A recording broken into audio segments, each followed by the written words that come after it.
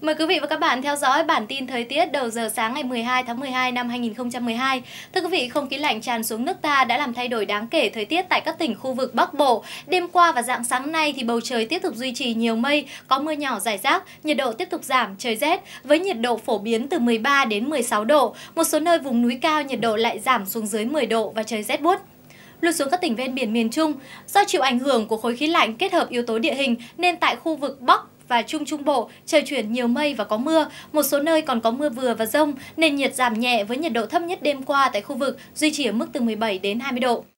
Sáng nay tại các tỉnh phía đông bắc bộ gió còn duy trì hướng đông bắc nhưng cường độ suy giảm hơn. Tuy nhiên thì trời còn nhiều mây, có mưa, mưa nhỏ rải rác và nền nhiệt độ vẫn ở mức thấp.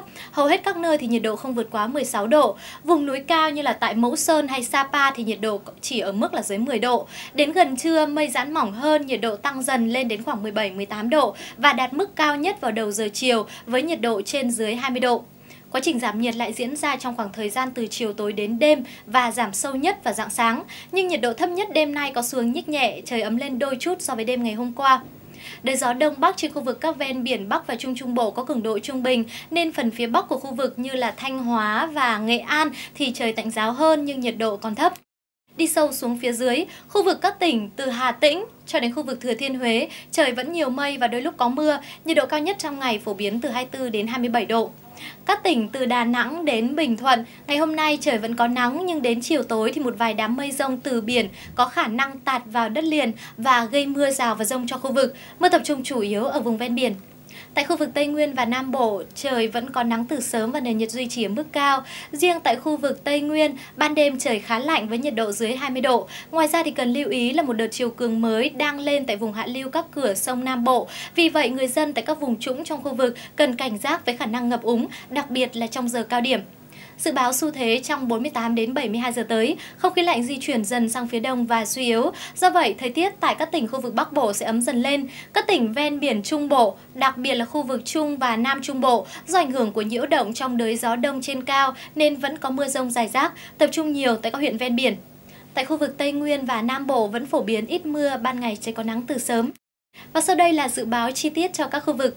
Tại khu vực phía Tây Bắc Bộ, trời nhiều mây có mưa ở một vài nơi, trời rét, nhiệt độ cao nhất từ 19 đến 22 độ, có nơi từ 24 đến 26 độ, nhiệt độ thấp nhất từ 15 đến 18 độ.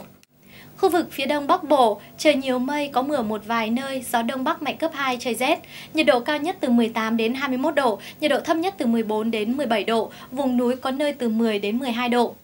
Khu vực thủ đô Hà Nội và vùng lân cận, trời nhiều mây, có mưa một vài nơi, gió đông bắc mạnh cấp 2, trời rét. Nhiệt độ cao nhất từ 18 đến 21 độ, nhiệt độ thấp nhất từ 14 đến 17 độ. Khu vực Bắc Trung Bộ, trời nhiều mây, có mưa một vài nơi, trời rét, nhiệt độ cao nhất từ 19 đến 22 độ, nhiệt độ thấp nhất từ 15 đến 18 độ. Tại khu vực Trung Trung Bộ, trời nhiều mây, có mưa rải rác, có nơi mưa vừa với gió Đông Bắc mạnh cấp 2, cấp 3. Nhiệt độ cao nhất ở phần phía Bắc từ 24 đến 26 độ, phía Nam từ 27 đến 29 độ, còn nhiệt độ thấp nhất từ 20 đến 23 độ. Tại khu vực Nam Trung Bộ, mây thay đổi, ban ngày trời nắng, chiều tối có mưa rào và rông ở một vài nơi, gió Đông Bắc mạnh cấp 2, cấp 3. Nhiệt độ cao nhất từ 29 đến 32 độ, nhiệt độ thấp nhất từ 23 đến 26 độ. Tại khu vực Tây Nguyên, mây thay đổi, ban ngày trời nắng, đêm không mưa, gió Đông Bắc mạnh cấp 2, cấp 3. Nhiệt độ cao nhất từ 29 đến 32 độ, nhiệt độ thấp nhất từ 17 đến 20 độ. Tại khu vực Đông Nam Bộ, mây thay đổi, ban ngày trời nắng, đêm không mưa, gió Đông Bắc mạnh cấp 2, cấp 3. Nhiệt độ cao nhất từ 31 đến 34 độ, nhiệt độ thấp nhất từ 22 đến 25 độ. Khu vực Tây Nam Bộ, mây thay đổi, ban ngày trời nắng, đêm không mưa, gió Đông Bắc mạnh cấp 2, cấp 3. Nhiệt độ cao nhất từ 30 đến 33 độ, nhiệt độ thấp nhất từ 23 đến 26 độ. Phần cuối của bản tin là dự báo thời tiết cho khu vực Biển Đông. Tại quần đảo Hoàng Sa có mưa rào và rông ở một vài nơi, tầm nhìn xa trên 10 km, gió đông bắc mạnh cấp 5, có lúc cấp 6, giật trên cấp 6, biển động, nhiệt độ từ 25 đến 29 độ. Tại quần đảo Trường Sa có mưa rào và rông ở một vài nơi, tầm nhìn xa trên 10 km, gió đông bắc mạnh cấp 5, có lúc cấp 6, biển động, nhiệt độ ngày đêm giao động từ 26 đến 30 độ. Thưa quý vị, như vậy là các tỉnh Bắc Bộ và Bắc Trung Bộ trời nhiều mây và rét, khu vực Trung Trung Bộ còn có mưa, còn tại khu vực Tây Nguyên và Nam Bộ ít mưa, ngày nắng. Bây giờ xin chào và hẹn gặp lại cho các bản tin dự báo thời tiết trưa nay.